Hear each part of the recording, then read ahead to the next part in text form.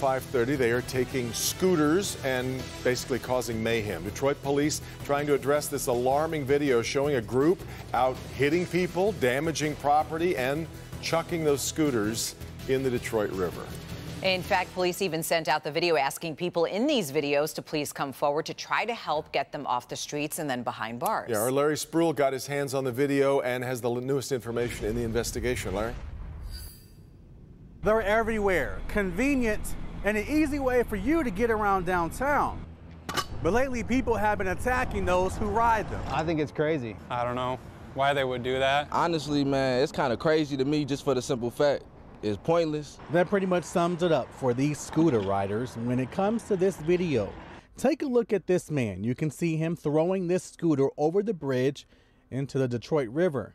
Another man pushing a woman off the scooter, forcing her to hit her head on the ground. But that's not it. This man purposely pushes his scooter into someone, and it's all recorded on camera. But that's assault in some case. Captain Javon Johnson with Detroit Police tells me they are investigating the video. It appears to be more than one suspect at this time, so we're trying to identify any and everybody involved. Captain Johnson says once they do that, they'll face more charges than assault. That if you are participating where they're actually causing the crime itself and or videotaping or in any way participating, you are just as liable as the person who actually assaults or destroys the property. That's an additional charge as far as theft and or uh, damage of, of, of property.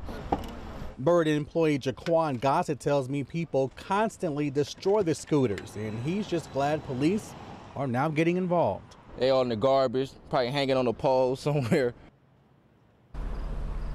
And police say there could be more charges based on the amount of damage. They also are looking at environmental health issues, being that they throw the scooters into the river.